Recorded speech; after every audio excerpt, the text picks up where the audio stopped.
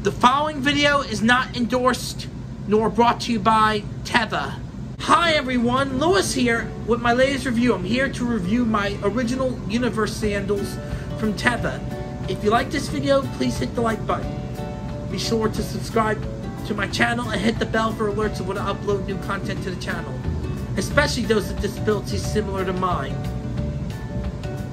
Besides my Chaco ZX2 custom built sandals, which I will also post the link in the description below to that video, I also wanted to have a cheap and less expensive backup pair of sandals to have alongside my beloved Chacos, and Teva also always been another favorite brand of sandal that I have liked over the years.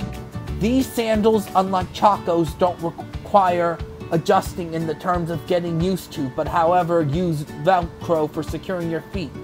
The straps are made of recyclable plastic. They have a textured footbed just like Chaco has on their Z series sandals. They come in different colors, patterns, and sole styles for both men and women, and the amazing classic universal strap design, which was first introduced in the Hurricane line, go great with the original style footbed, and they can be worn with or without socks.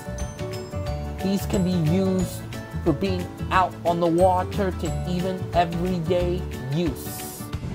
Always be sure to take good care of these as they will last you a long time when you do. Unlike Chaco, Teva doesn't repair or make customized sandals, which is the downside, but in the end, it's worth the 50 to 60 dollars if you're looking for an affordable pair of sports sandals. Thanks for watching, everyone. You can also follow me on Instagram, Twitter, Facebook, and Twitch. And remember, it's time for adventure. Also, during these times, if you're going out, be sure to wear a mask Practice social distancing by staying six feet apart.